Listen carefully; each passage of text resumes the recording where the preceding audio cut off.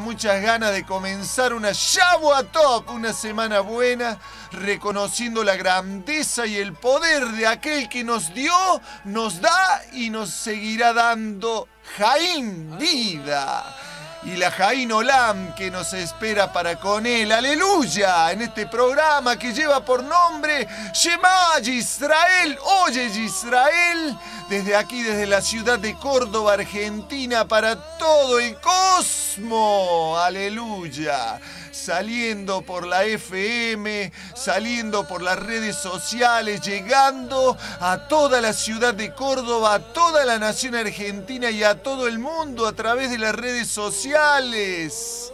Bueno, aquí estamos una vez más. Parece que hubiese sido ayer cuando nos levantamos de este lugar y nos despedíamos hasta este programa. Y así pasan los días, pasan pero más que volando más que volando, uno parece que se, apoya la cabeza en la almohada y ahí nomás se levanta y pasa rápido los días, ¿no? Bueno, estas palabras también están en las Sagradas Escrituras, que en los últimos días el tiempo pasaría más rápido. Y aunque muchos dirían, pero el reloj sigue andando igual, y sí, pero el tiempo dice que lo, lo notaríamos que hay una diferencia.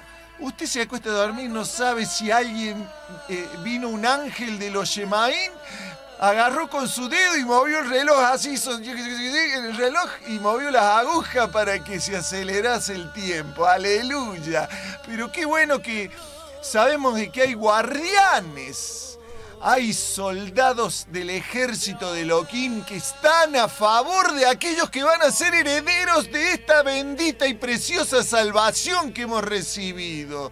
La Shimja, el gozo, la Sedaka, la justicia divina y la Shalom, por supuesto. Estas tres cosas conforman el Malhut, el reino de los cielos, el Malhut de los Shemaín.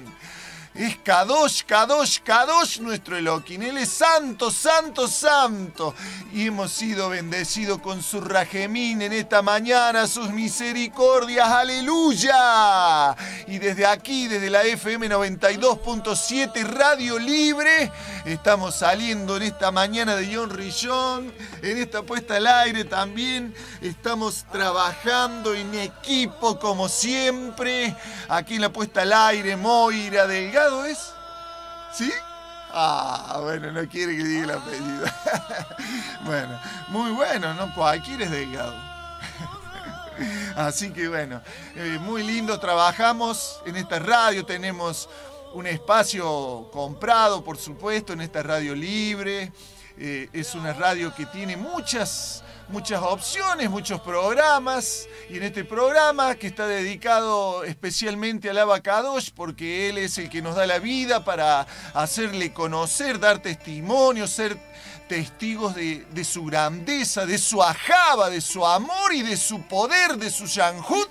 En esta mañana estamos aquí sentados frente a este micrófono para llevar luz, la luz a los corazones. ¿Cuál es la luz? La santidad, la bendición de la vida. Porque hay tinieblas, hay oscuridad, hay corazones que por causa del pecado están oscuros y es necesario que llegue esta luz a los corazones, a los hogares, a la familia. Esa es la intención de hacer conocer este Elohim, el Dios de la creación verdadero que Él no se trata de ser religioso con Él, Él mira los corazones, Él mira nuestro lep, nuestro levabot, nuestros corazones. ¿Para qué? Para que Él tener esa, esa amistad que Él anheló desde el primer hombre que Él creó, el Hadam, el hombre primero que Él creó, el Hadam Rishon, Él fue la creación que Él hizo para tener ese, ese amor de amistad, eh, de padre hacia un hijo. Y bueno, por causa de la desobediencia, aquí estamos, tratando de hacer teshuvah, arrepentimiento y regresarnos de todo corazón a Él. No tan solamente nosotros, porque día a día debemos luchar con ese con esa naturaleza adámica que nos quiere llevar a las concupiscencias. ¿Qué son las concupiscencias? Los malos deseos, las malas obras y las malas pasiones que se manifiestan en, en las personas naturales, porque por supuesto, una persona natural le tira, como quien dice, le tira a vivir una vida desordenada, contraria a la que nos pide nuestro Creador, contraria, porque Él nos pide de que nos alejemos de las cosas malas, de que nos alejemos del pecado y que creamos en Él, que Él ha enviado un Mashiach, un Salvador, un Matzil, el Cristo, conocido como el Cristo. El Cristo sabe qué significa el ungido, el enviado. Igual eh, esta, esta versión es una versión traducida, Cristo, del griego al castellano, al español. Pero en el original, en el hebreo original, es Mashiach, el Salvador, el enviado, el ungido, el esperado por todo el amigo Israel. Él ya está, ya está, glorioso, victorioso. ¿Por qué? Porque en el tiempo exacto Él vino, cumplió su promesa trayendo redención y hay un remanente. ¿Qué es un remanente? Un grupo, una, una, comunidad creyente en toda la tierra que forma a este pueblo, a este pueblo de Israel, que es el que cree que Yeshua es el Mashiach, que Yeshua es el Señor, es el Adón, que Él vino a traer redención a este mundo. Y qué hermoso que nosotros tengamos ese regalo frente a nosotros con toda la fidelidad de lo que es una sagrada escritura y que dice, establecido está, que el que crea en mí, aunque esté muerto, vivirá. Aleluya. Qué hermoso, qué hermoso. ¿Por qué? Porque está sellado con las sagradas palabras, las Dabar Kadosh palabras santas que salieron de la boca de nuestro Creador para que venga a este mundo la Jaín Olam a través de su amor, de su ajaba. Este es el verdadero amor, el perfecto amor. ¿Cuál es el perfecto amor? Que el Padre no miró nuestra condición ni, ni la gravedad ni, ni, el escalafón de nuestro haberá, de nuestro pecado. Él no miró eso. ¿Se imagina si tuviese que medir este pecó tanto, el otro pecó este, el otro. Eh, no mide, no se mira, él no mira. Si hay. Mire, yo visité la prisión eh, por mucho tiempo y, y, estuve con gente que estaba en la prisión, pero con una cantidad de amor, hermano. Pero amor, amor, amor, ese amor de. Usted lo miraba a los ojos y emanaba el amor de nuestro Señor. Y eso existe todavía. ¿Sabe por qué? Porque se arrepintieron de verdad, sinceramente.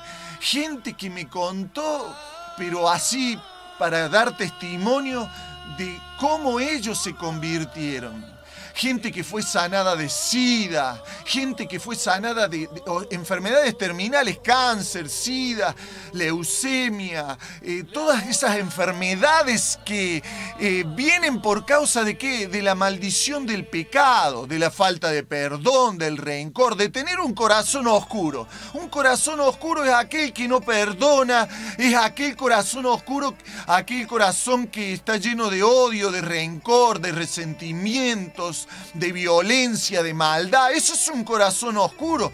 Por eso esos corazones necesitan la luz y no la luz que nosotros, la electricidad que, nos da la, empresa que tenemos aquí en toda la Argentina. No, no, esa luz es como para ayudarnos a, a no vivir en la oscuridad, en todo lo que necesitamos movernos.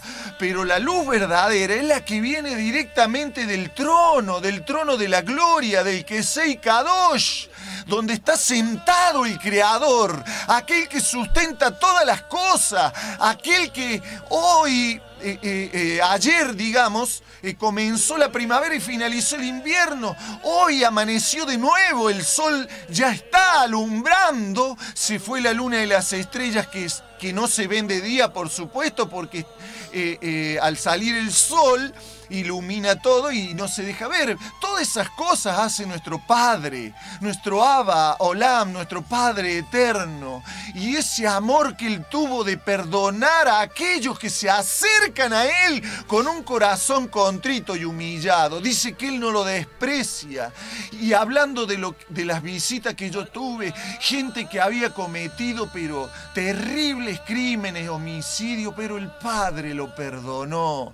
Lo perdonó sí, porque ellos reconocían que, que lo habían hecho porque su corazón estaba oscuro, lleno de, de, odio, de maldad, de rencor, pero al sentir ese amor tan grande, mire, esas personas no las hacía llorar ni aunque usted lo agarrara y lo, lo, torturara, no lloraban por nada, pero cuando sintieron este amor, este precioso y maravilloso y grande amor del Padre Eterno, se su corazón se quebraba en millones de pedazos y derramaban lágrimas, lloraban como niños delante de la presencia de este hermoso Padre, para pedir perdón, estar arrepentidos, estar con un corazón contrito y humillado delante del Creador y pidiendo y rogándole de que ellos no querían volver más a esas sendas de andar en malos caminos, hurtando, robando o haciendo daño, maldades o tener violencia.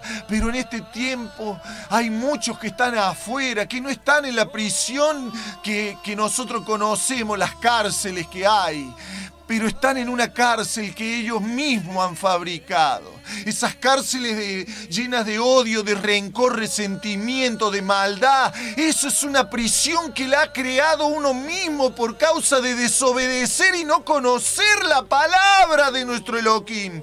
Por eso en esta mañana hay una oportunidad, hay una Dalet, una puerta. Hay una Dalet, hay una puerta. Y nuestro Mashiach dijo, yo soy la puerta. El que, el que viene a mí y entra por esta puerta hallará pastos y agua, aguas cristalinas y pastos frescos. Dice, mis ovejas, mis ovejas oyen mi voz y ellas me siguen. Esas son palabras de nuestro Mashiach, conocido como el Cristo. Él es nuestro Mashiach, Yeshua Doneinu, Yeshua nuestro Señor. Él es el verdadero y Él vino para salvar a su pueblo, a su amigo Israel. Y como su pueblo parte, parte, no todos, no lo reconocieron. Él se vino para todos aquellos que crean en Él. Él ya no mira si usted es árabe, si es musulmán, si es del Islam, si es yeudí, judío, como somos nosotros. Él no mira eso. Él mira algún corazón que anhele y desee tener un Padre hermoso y precioso como el Padre que creó al primer Adán, al Adán Rishon, al, Adán Rishon, al hombre primero. Así un padre hermoso que, que le dio años y años de vida, le, dio, le, preparó un huerto, le regaló una mujer. Dice que cuando, cuando él quiso darle una mujer, lo hizo dormir al Adán, al Adán Rishon. Lo hizo que se durmiera y le sacó una costilla al primer hombre. Y de esa costilla hizo una mujer para que fuese su compañera y estuviese con él y pudiese vivir con alguien a su lado que lo ame y él amarla a él. Y en este tiempo podemos ver que acontecen cosas aberrantes en una, en, una pareja, en un matrimonio, eh, cosas terribles en este mundo. Pero aquí está la Dalet, la puerta. Aquí está la puerta abierta para que usted pueda ingresar ese huerto que se perdió por causa de la desobediencia. Aquí está la puerta. Y por eso nosotros estamos aquí, para mostrarle cuál es esta puerta. Esa puerta es la bendición que el Mashiach Adoneinu dijo, el que viene a mí yo no le echo fuera. Por eso nosotros debemos tener ese corazón dispuesto para pedir perdón Muchos quizás en este momento están pensando en quitarse la vida porque no doy más, porque las cosas no me van bien, porque mi vida ha sido un desastre, pero no, no es esa la solución. Esa no es la solución. La solución de que cuando uno se siente mal, tiene dos rodillas y las puede usar para clamar de que el Creador venga a su vida, a su corazón, a su familia, para que venga y llene su corazón de luz y deje de estar en las tinieblas. Salga de esa oscuridad, salga de esas cosas que son mentiras de Hasatán. Hasatán es el adversario que por venganza él está tratando de hacer que la gente no conozca esta verdad. Hasatán está enviando enfermedades, está enviando problemas, dificultades constantemente para que la gente no se acerque y conozca la luz. Pero la luz se acerca en esta mañana a tu corazón y a todas las que están del otro lado, sea que llegue a la prisión, a la cárcel, esta radio, eh, esta emisora radial en esta mañana, sea que llegue a donde llegue. Mira, no importa la situación que estás, no importa lo que hayas cometido, solamente tenés dos rodillas. ¿Sabes qué hacen los camellos cuando tienen ganas de descansar? Se doblan la rodillita y se acuestan así eh, eh, en forma horizontal iba a matarle, iba a matarle y lo iba, iba a matarle, entonces cuando, cuando lo iba a, matar, entonces antes de que lo matase, antes de que lo matase, eh, huyó, huyó de Almidbar, al desierto, y allí se encontró con un árabe y sus hijas, y allí se casa, se casa con Séfora. Qué hermoso, ¿no? se casa con Séfora. Y Séfora, Séfora, la esposa de, de Moshe, Moshe Rabino, allí ella le amó, le dio dos hijos. Y qué hermoso, porque bueno, allí Moshe Rabino, Moshe Rabino, él eh, fue llamado a los 80 años por el Creador, para que fuese a Egipto, a Misrajina, la nación más grande y poderosa que había en ese momento, y le llevaron un mensaje a Faraón que, que le diera la libertad a su pueblo hebreo, que estaba esclavo, trabajando dura, pero duramente allí como esclavo, como esclavo. ¿Para qué? Para crear todas las pirámides que usted hoy las puede ver, eh, las puede ir a visitar si usted quiere a, Egipto o las puede ver por, por, fotos o internet, lo que quiera. Bueno, eso hacía eh, Faraón, hacía trabajar a los hebreos para que hicieran todos esos monumentos que son, eh, digamos, parte de cosas que adoraban ellos, dioses que adoraban y, cosas que son hechas por las manos del hombre, ¿no? Pero a los 80 años fue llamado Moshe Rabino. Y a los 80 años fue llamado para qué? Para que él fuera el libertador del pueblo, una tarea terrible. Y caminó 40 años en el Midbar, en el desierto, llevando, llevando toda la carga de aquel pueblo contradictor, porque era un pueblo que viendo la grandeza y el poder de nuestro Creador y Hacedor de toda la creación, aún así ellos estaban siempre con una queja Siempre, oh, porque ahora dice, ¿cuánto hace que no comemos carne? ¿Cuánto hace que no...? Y si no hay nada mejor que comer un vegetal o, quizás eh, una gallinita, un pollito, que ahora es lo más económico que hay. En este tiempo, la queja pero la queja va y viene. Usted prende la televisión y escucha la queja. Y eso es como si usted se sentase a comer o a tomar veneno. Es malísimo eso, porque nuestros oídos eh, son una puerta abierta a nuestro corazón. A veces nosotros escuchamos cosas y esas cosas que van al corazón eh, están envenenando nuestra vida. Entonces debemos escuchar lo positivo. Lo negativo existe y lo vamos a escuchar, pero no guardar en nuestro corazón aquellas cosas negativas. Guardar lo positivo creerle a lo que el Padre Eterno ha dejado establecido en las Sagradas Escrituras. Eso es lo que debemos hacer. Bueno, en esta mañana de John Rillón, 8.27 minutos, día 22 de septiembre, ya un día de primavera, ya comenzó ayer y bueno, ya vamos eh, en, la recta final de este mes de septiembre. Ya quedan casi una semana prácticamente para que finalice una vez más septiembre 2019, septiembre del 2019, y ya no va a regresar más. No sé si habrá visto usted que muchas veces cuando comienza el año, dice, o la, temporada, dice verano 2019, disfrútalo. Y bueno, y después se fue y ya no viene más, eh, ni la primavera ni el verano. Debemos disfrutar lo que el Padre nos ha bendecido y nos ha dado. Ese amor tan hermoso que hoy tenemos por parte de nuestro abacados. Bueno, estoy aquí sentado en esta mesa eh, dijera, eh, eh, bueno, hay, hay tangos que hablan cosas negativas, por eso el tango, usted cuidado con lo que cante, ¿no? Porque con lo que cante también se puede atar. A veces usted escucha un tango y, y el tango te hace, pero te cuenta toda la historia, toda la historia de su amargura. Pero bueno, hay tangos lindos que cantan al amor, a, las cosas lindas, pero la mayoría de los tangos son nostálgicos, eh, eh, cosas que...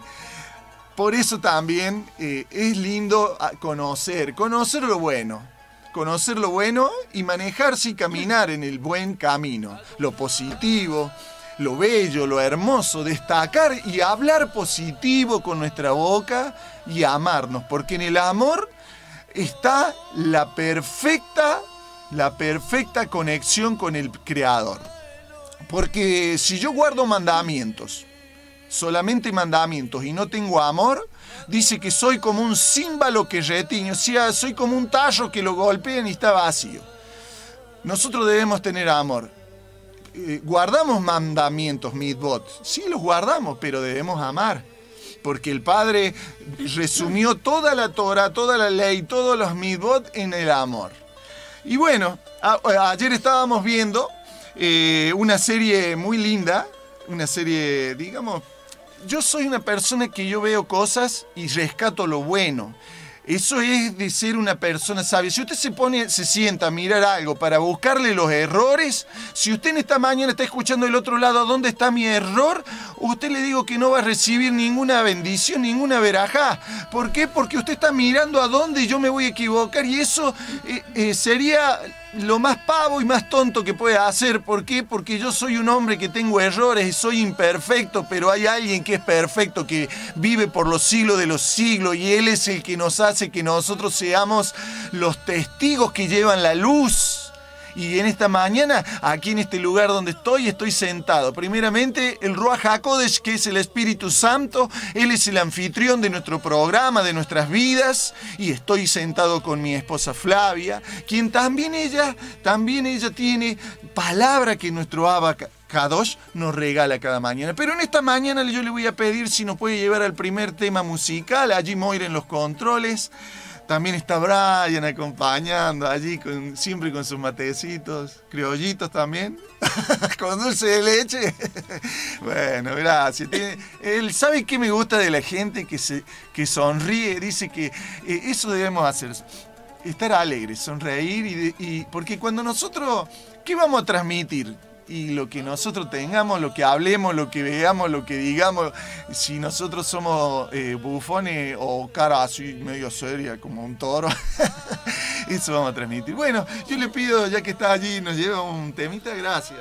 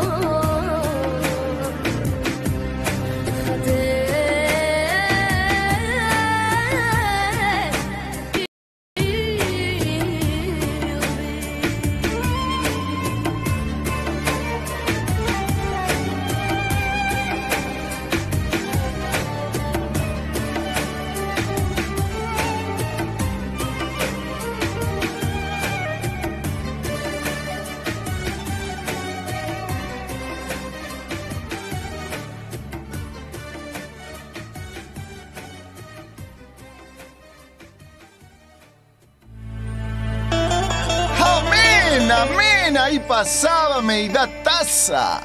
Nuestro hermano también, Yehudi, que cantaba Shema Israel. Qué bonito, con ese ritmo de nuestra tierra, a donde nuestro Abba nos ha prometido llevar regreso. Son promesas, son promesas divinas que nuestro Creador nos ha dado. Y qué precioso y hermoso que es poder, poder estar con esa tikvá, con esa esperanza de que en algún momento esto va a acontecer. Aleluya, bendito sea nuestro Elohim. Él nos ha bendecido, bendito sea nuestro Elohim con su Haptajá, con su promesa, Haptajá, la promesa divina de la Jaín Olam. Aleluya. Buenos días, Flavi. ¿Cómo Buenos días. Que tengan un día hermoso. Señor les cuide y que les guarde. Bueno, se ha comunicado Luis Escobar. Manda saludos y nosotros también le enviamos muchos besos, bendiciones. Que comience una semana hermosa, una linda. Que la luz del poderoso esté siempre cuidándola y guiándola. Bueno, enviamos saludos a todas las personas. Gracias por su apoyo, por su amistad. Que comiencen una semana linda, ¿no? Todo lo mejor de lo mejor para cada uno de sus vidas. Bueno, hoy tengo Deuteronomio 28 para compartir. Dos. Dice así. Deuteronomio 28. No, no existe ladrón allí, o sea que lo que usted deposite en el banco celestial allí estará multiplicado y con el mejor interés que usted puede llegar a tener. Usted busca un banco que le dé buen interés, tiene que ser dadivoso. Porque el que da recibe. Esto es como un río. Usted, usted ha visto que algún río, después que eh, eh, pasa, pasa el agua, devuelve el agua para atrás, jamás. El río va adelante y sigue y sigue y sigue y no para. Algunos ríos se secan, pero se secan por la mala obra del hombre aquí en la tierra.